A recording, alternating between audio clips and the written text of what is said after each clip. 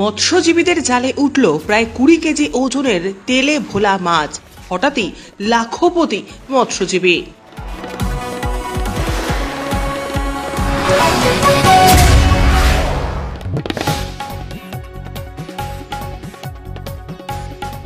আবারও সুন্দরবনের মৎস্যজীবীর জালে উঠল প্রায় কুড়ি কেজি ওজনের তেলে ভোলা মাছ। শুক্রবার নামখানার হরিপুর খেয়াঘাট থেকে মৎস্য শিকারের উদ্দেশ্যে রওনা দেয় একটি ছোট মৎস্যজীবী ট্রলার। বকখালির অদূরে কালিস্তানের কাছে জালে ওঠে প্রায় কুড়ি কেজি ওজনের এই তেলিয়া ভেলাটি। চন্দনবিড়ির মৎস্যজীবী গোবর্ধন সামন্ত জানান, আমাদের মাছ ধরে সংসার চলে। শুক্রবার দিন সকালে হরিপুর খেয়াঘাট থেকে ছোট নৌকা নিয়ে মাছ ধরার উদ্দেশ্যে রওনা দেন তিনি। কালিস্তানের কাছাকাছি তারা জাল পাতলে সন্ধ্যা নাগাদ জাল তুলতেই দেখা যায় বিশাল ধরনের তেলে ভোলা মাছটি।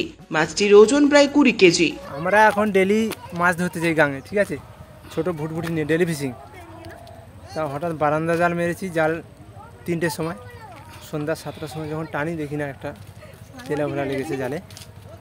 ঠিক আছে, সেইটা এখন ডায়মন্ড মার্কেটে যাব এই তিনটের সময়। পঁচিশ থেকে তিরিশ কিলো হতে পারে। ওজন করিনি যদি এরকম একটা অনুমান। এর আগে তিনি কখনো এরকম ধরনের মাছ পাননি। তাই বিশাল আকৃতির এই তেলাপোলা মাছ দেখতে ভিড় জমিয়েছিলেন এলাকার মানুষজন। গতকাল রাতে মাছটি ডায়মন্ড হারবার মাছ বাজারে নিয়ে গেলে তার ওজন হয় প্রায় সতেরো কেজি। প্রতি কেজি মাছ ন হাজার দুশো টাকা কেজি দরে প্রায় এক লক্ষ পঞ্চাশ হাজার টাকায় বিক্রি হচ্ছে। স্বাভাবিকভাবেই পুজোর আগে হঠাৎ করে লক্ষ্মী লাভ হওয়াতে খুশি মৎস্যজীবীর পরিবার। গতকাল একটা আমাদের গরিব সংসার আমাদের মাছ ধরি, মাছ ধরলে সংসার চলে।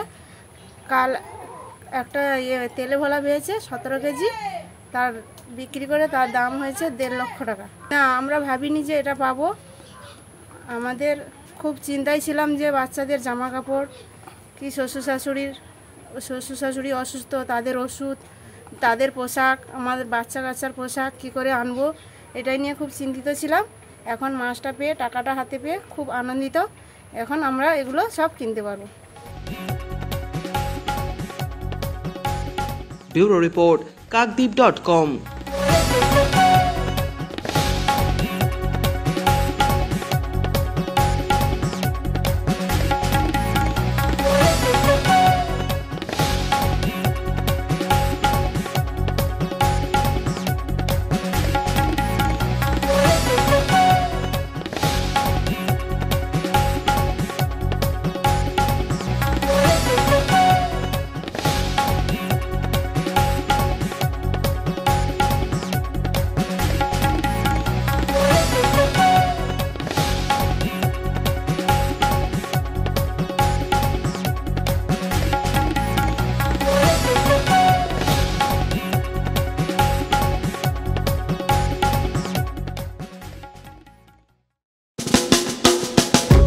আধুনিক আসবাবপত্রের সঠিক ঠিকানা কিরণময়ী বেডিং স্টোর্স, কাকদ্বীপ রত্তলা